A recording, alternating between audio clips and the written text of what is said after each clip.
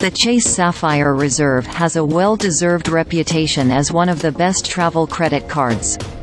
It's loaded with benefits such as airport lounge access, a generous annual travel credit and a variety of useful built-in travel insurance coverages.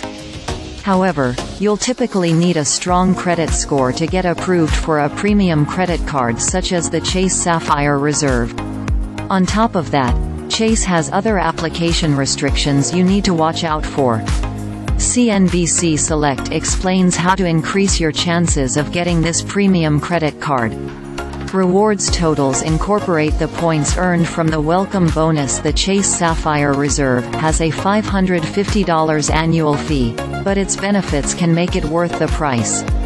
Every year cardholders receive up to $300 in statement credits for travel purchases, and that's in addition to these ongoing perks. Cardholders can also take advantage of many useful travel and purchase coverages.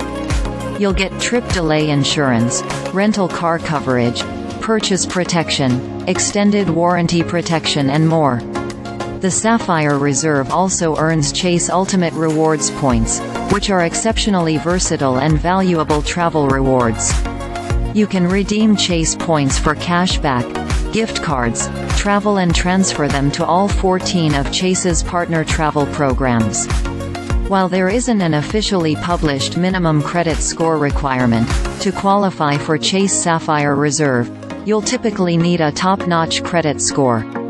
To give yourself the best chance of being approved, aim for a FICO score of 740 or higher.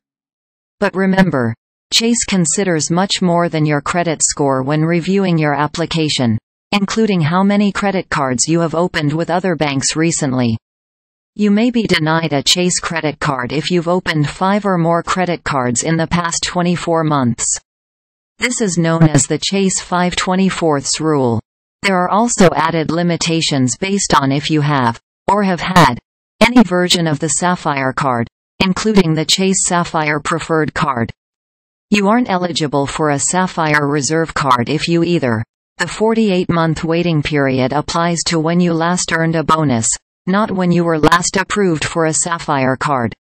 You typically have up to three months to earn a bonus, so you may need to wait up to 51 months from your last Sapphire card approval date.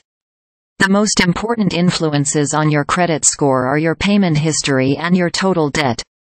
These two factors comprise 65% of your FICO score. So there isn't a shortcut to improving your credit score for the long term. It largely comes down to paying down your debt and paying your bills on time consistently. There are services that may boost your credit score by giving you the option to add information to your credit report that normally isn't included. You can use eCredable Lift or Experian Boost to add payment data for utilities, cell phone services, internet services and more, to specific credit reports.